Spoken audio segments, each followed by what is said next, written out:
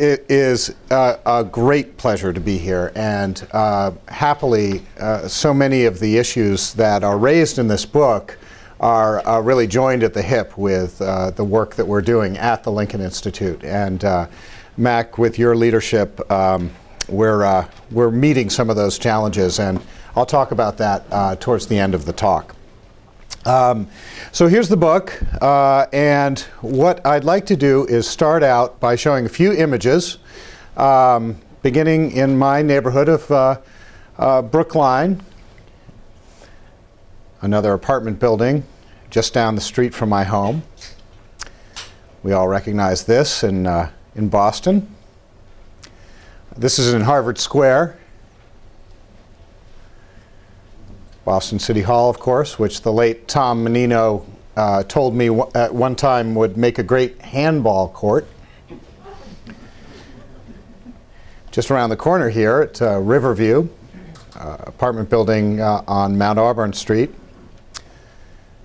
This is an alewife, but it, re it really could be anywhere uh, with its uh, horizontal strip windows and typical typology of the uh, corporate office park. Does anyone know where this is? Fall River City Hall, quite similar to Boston City Hall. And this is in Providence. And finally, uh, again, in, in Back Bay, right here in Boston, uh, the John Hancock Tower. Well, what I hope to illustrate that uh, so much of our landscape, for better or worse, all around us, has been influenced by this man, Le Corbusier, born Charles Edouard Jeanneret in 1887 in the watchmaking town of Le Chaux-de-Fonds, Switzerland. He moved to Paris uh, at uh, about the time of the Roaring Twenties and rebranded himself with the single moniker. It's taken from a family name, but loosely translates as well to the Raven, the mythic uh, acrobatic bird of Celtic lore.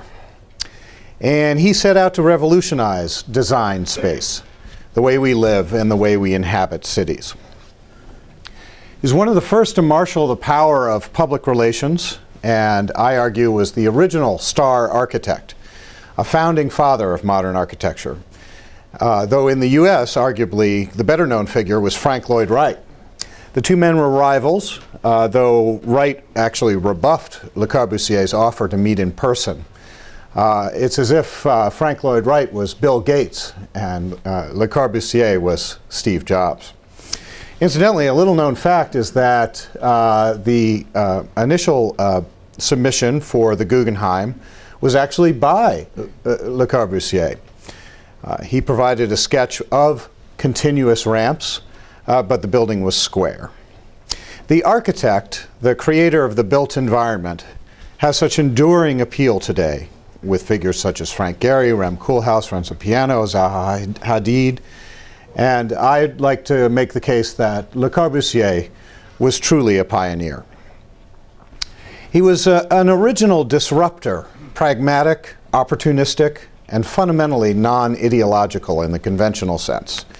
He was a master of reinvention, working in his atelier, the equivalent of a startup in a garage, uh, experimenting, challenging the status quo, and expertly, if rather assertively, delegating the execution of his vision to a loyal team.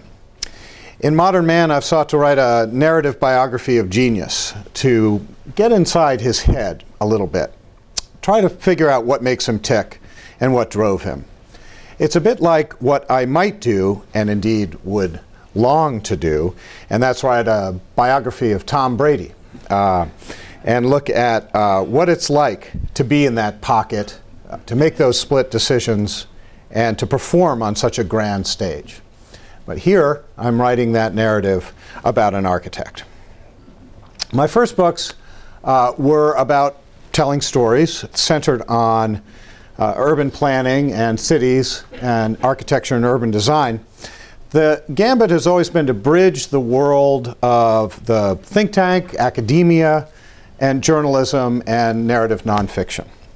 Um, there have been many books about Le Corbusier. uh, they, they are mostly divided up into specialties. So uh, there's a book about the architect and the beach. There's a book about the churches he built, about him growing up in Switzerland, about his time here in America. Modern Man is not a scholarly treatise. There's uh, plenty of that in the literature to date. My goal was to give uh, Le Corbusier the wrestling with Moses treatment, that is, aimed at a general audience, and for many readers who actually might have little idea who he was. Well, uh, our hero would always lecture without notes, doing a kind of PowerPoint on the fly, uh, writing with uh, charcoal on uh, reams of newsprint like this. I've structured the book so the story of his life is not so much a linear or chronological uh, tale, but rather an exploration of themes uh, and rooms in the memory palace, if you will. In my own modest way, I've sought to design the narrative a bit like one of Le Corbusier's buildings, uh, unfolding a process of theatrical discovery. Well, to give you a sense of his early influences, le uh, let us take uh, a, a, journey back in time, beginning with Le Chaux de Fonds, Switzerland, where he was born. It's a remote place, uh, and he was eager to get out of there pretty much as quickly as possible. Uh, much like uh, the city's other famous son, Louis Chevrolet, uh, the founder of the giant car company.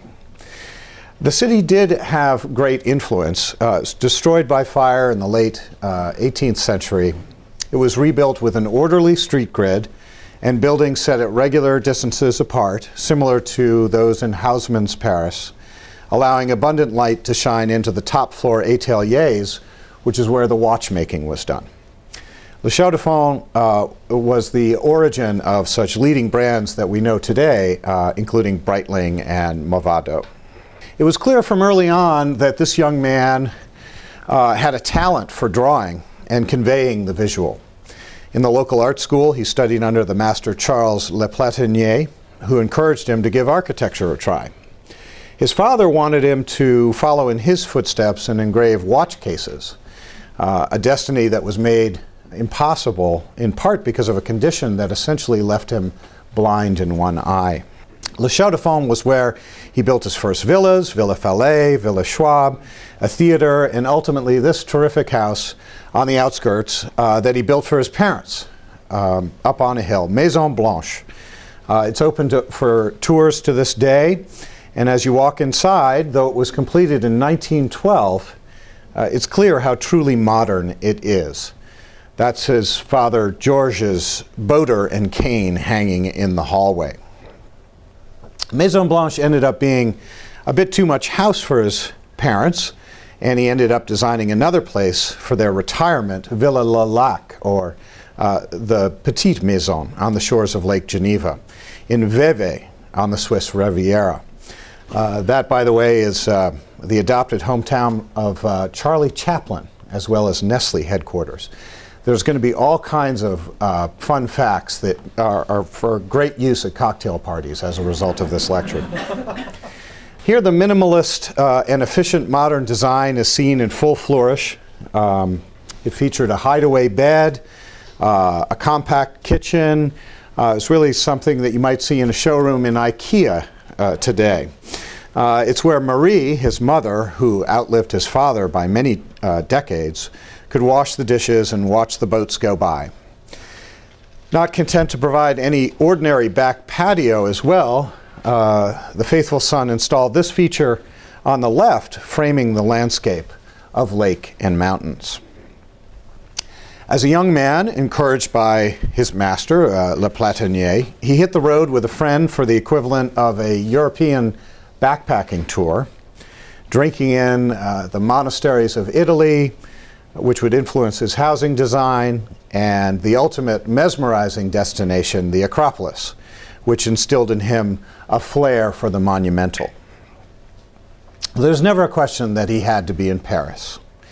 He talked his way into an internship with the Perret brothers, who were experimenting with the use of concrete at the time, and also interned uh, with Peter Behrens, who, with Walter Gropius and uh, uh, another intern at about the same time, Mies van der Rohe, uh, of course, helping establish the German design school, the Bauhaus.